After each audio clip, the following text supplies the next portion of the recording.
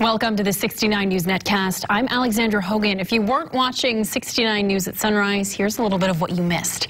Firefighters had their hands full with a multi-alarm blaze in Hunterdon County, New Jersey.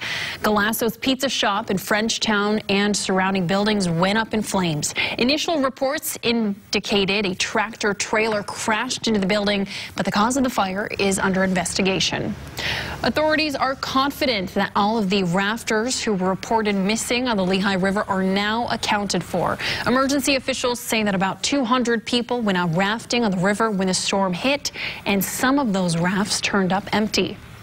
Flooding has forced the closure of Allentown's Cedar Beach pool for the second time in less than two weeks.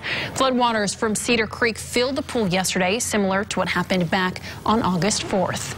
And in weather, there's still a threat for more localized flooding as thunderstorms could linger through this evening.